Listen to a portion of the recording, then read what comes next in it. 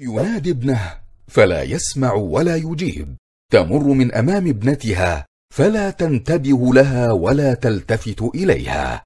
إنهم معزولون عمن حولهم بالعالم الافتراضي عالم الألعاب الإلكترونية.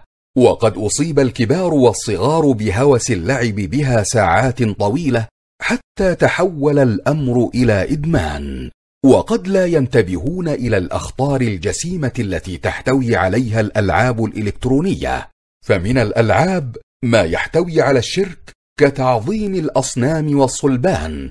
عن عائشة رضي الله عنها أن النبي صلى الله عليه وسلم لم يكن يترك في بيته شيئا فيه تصاليب إلا نقضه ومنها ما يشتمل على السحر والشعوذة. قال النبي صلى الله عليه وسلم اجتنبوا السبع الموبقات أي المهلكات الشرك بالله والسحر الحديث. ومنها ما يشتمل على العري والمناظر التي تخدش الحياء وتدعو إلى الفحشاء. وقد قال الله تعالى قل للمؤمنين يغضوا من أبصارهم ويحفظوا فروجهم ذلك أزكى لهم. إن الله خبير بما يصنعون.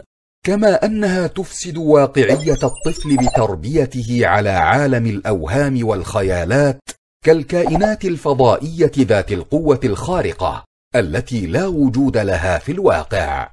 ومن آثارها السلبية أنها تربي العنف والعدوانية في نفوس الأطفال كما تزرع بينهم الكراهية كما يفعل القمار وهي تضر بالصحة كاضطراب الأعصاب ورعشة الأطراف وآلام الظهر وضعف السمع والنظر كما تؤدي إلى الاضطرابات النفسية ومرض التوحد والاكتئاب ولا يخفى تضييعها للأوقات وإلهاؤها عن الواجبات.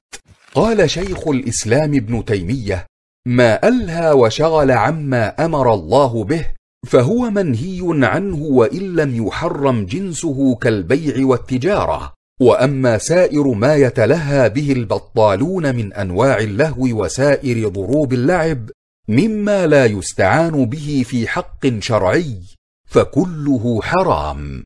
فاترك هذه الملهيات وأقبل على ما ينفعك واعلم أنك محاسب على عمرك.